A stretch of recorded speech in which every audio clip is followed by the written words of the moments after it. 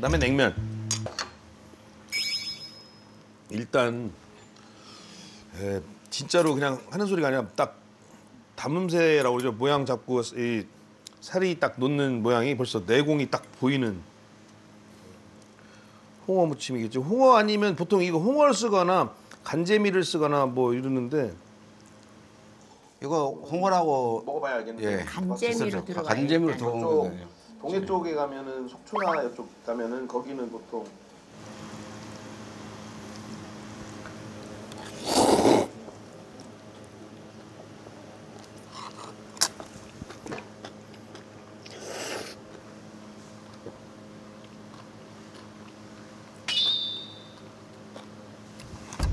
예, 우리 사장님의 냉면 솜씨.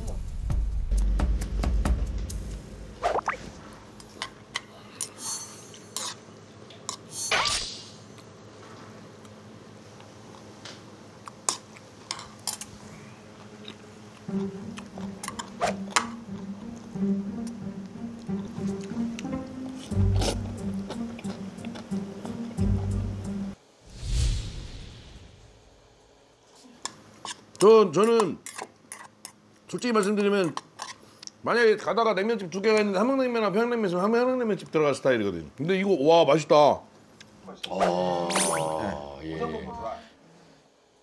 겨자 식초 안 넣어도 충분히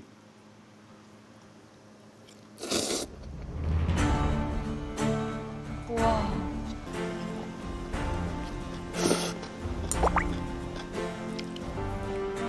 어또 진짜 맛있다. 오 맛있어요.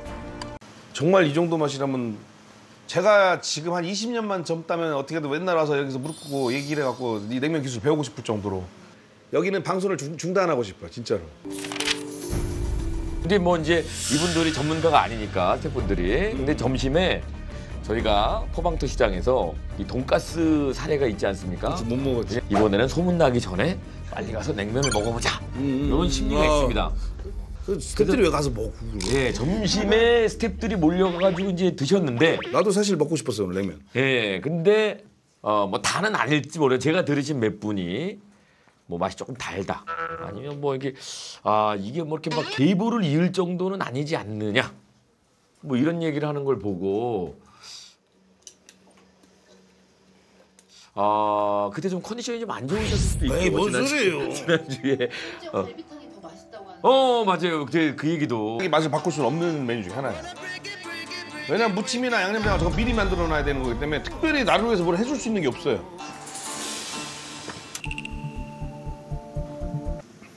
육수는 맛있는 맛이 없어요? 아, 맛있어요. 육수, 육수는 맛있어요. 원래 맛이 근데 진짜 맛이 그렇게 달랐어요? 지난주 먹을 때 그동안 없었어요.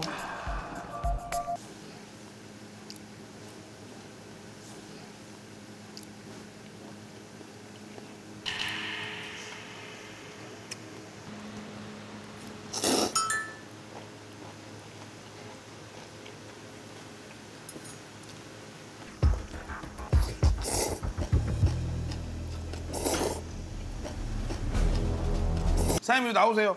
저랑 얘기 좀 해야 될 것 같아. 이 냉면 네, 맛과. 갈비탕 맛이 어떻게 변했는지 잠깐만요, 선생님 사인 하나만 보내주고.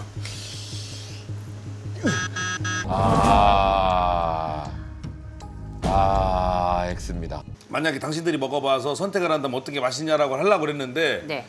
이제 그걸 하기 전에 지금 준비는 돼 있었어요. 준비는 돼 있었는데 작가하고 제작진이 먹어보고 자기들이 먹을 때는 백 대표님이 얘기하듯 그렇게 그렇게 맛있는 맛을 못 느꼈다는 거야. 지난주에 먹었던 그 막 그 맛이 안 나는 거예요. 그래서 일단 이 표시 뭐냐면 야 오- 일단 오늘 판정 저 시식단은 예, 취소. 올라가는 회무침 예, 예. 새로 하신 거죠? 언제 오늘이요? 예, 이번에 언제 하신 거 이거? 오늘 했습니다. 오늘 한 거지. 예.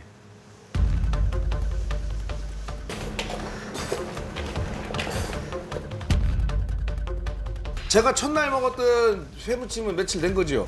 며칠 숙성 쏘신 거예요? 좀 오래됐어요. 예. 그래요. 그러니까 그래요? 아니 그 오래된 게 사장님 아까 아니요. 아니, 아침마다 묻히길래 아니, 나는. 아니, 제가 왜 아까 그랬냐면 첫날 먹었던 그 위에 회무침은 이렇게 각이 딱 안 잡혀 있었어요. 흐물흐물 됐단 말이야. 양념도 충분히 들어가고. 근데 지금은 각이 딱딱 칼로 쓰는 게 잡혀 있잖아요. 어.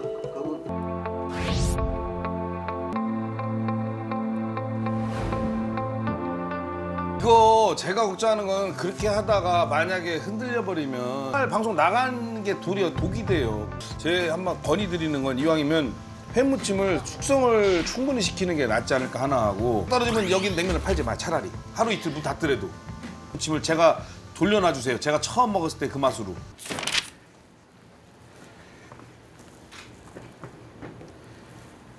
저희 둘은 몰라요, 그죠? 그쵸. 먹어보질 안 않았기 때문에. 먹어봤어요. 네. 와, 우리 사장님도 나오셨어요. 바깥으로 나왔습니다. 예, 좀처럼 밖으로 잘 안 나오시는데. 상황은 저번 주랑 똑같을 거예요. 이번 주에도 예고편이 나갔기 때문에 손님이 많이 몰려들어서 그렇죠. 처음에 와서 먹어봤던 그 냉면 맛이 맞을지 자존심 문제예요. 이 아버님이 자부심이 있으시거든요. 저 첫날 와서 먹었던 그 감동이 살아나야 되는데.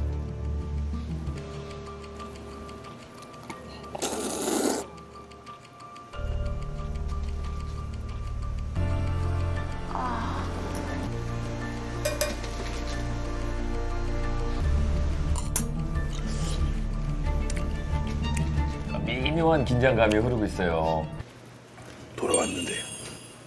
돌아왔는데.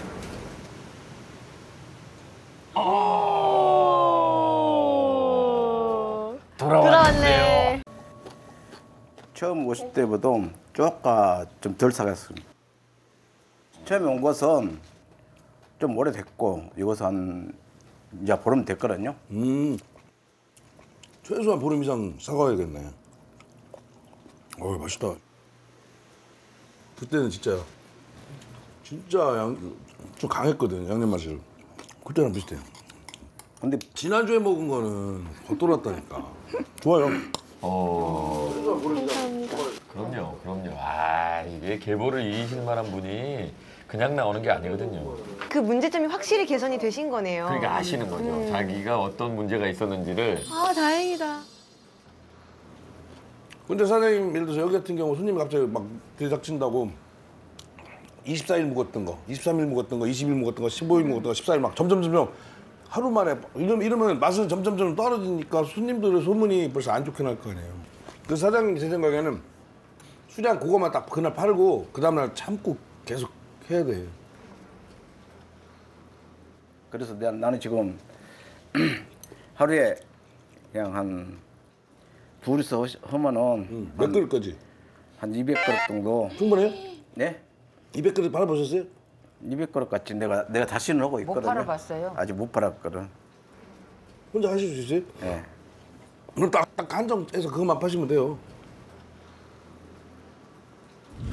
자, 그러면 이제 네. 냉면은 계속 어, 가는 다행이에요. 거고요. 예.